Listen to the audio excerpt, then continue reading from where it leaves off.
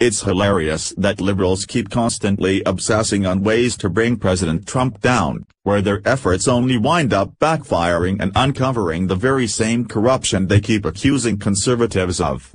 One of the slimy liberal politicians who's been making headlines lately is the socialist old dinosaur Bernie Sanders, and his crooked wife Jane. We recently learned that Jane received a shady loan to the tune of $10 million while she was running the Burlington College where the FBI is now investigating her for falsifying documents to obtain money for the now-defunct liberal arts college. But unfortunately for this crooked couple, an FBI investigation was only the tip of the iceberg, as a grand jury is now making their move with a brutal smackdown that would not only crush Bernie's chance of running against Trump in 2020, but could send Jane to prison for quite some time. Nothing kills a political aspiration boner quicker than a federal investigation, and for Bernie Sanders, that's exactly what's happening. Over the past six weeks FBI agents have launched a full-scale investigation into the couple's illegal antics over the years, and the information they've found was so damning that it's evoked response from a grand jury that's now making their move to make the couple pay dearly for their crimes.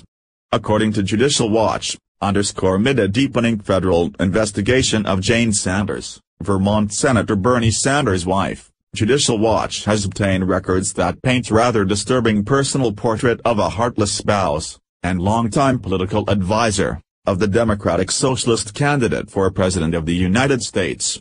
During the Obama administration, the FBI began investigating Jane for falsifying documents to obtain a $10 million loan to expand a now-defunct liberal arts college in a town where her husband once served as mayor while she was the school's president. Fox News reports that any political future Sanders had for 2020 is rapidly deteriorating, as these FBI agents have unearthed massive evidence of Sanders' involvement with bank fraud. And unfortunately for Sanders and his shady wife, Trump's Justice Department isn't playing around.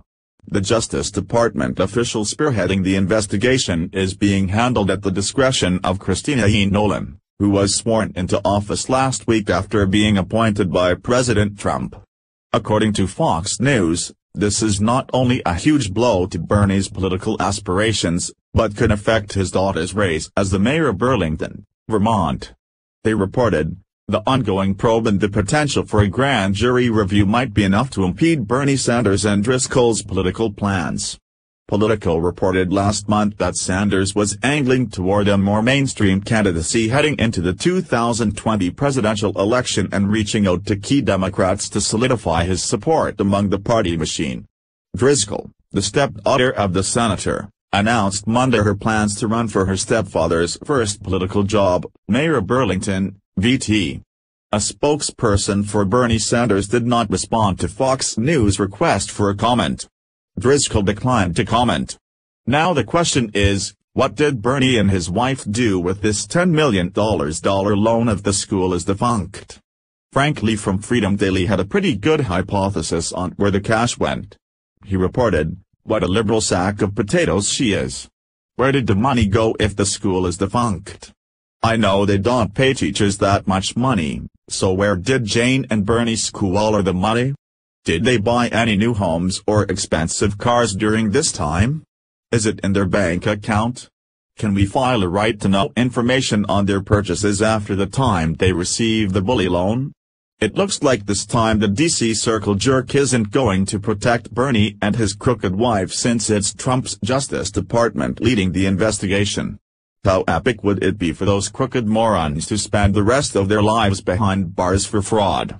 What's even more hilarious is that liberals are already hurting for viable candidates to run against Trump in 2020, and having Bernie out of the race would be a massive blow to their plans of unseating Trump in the next election. You.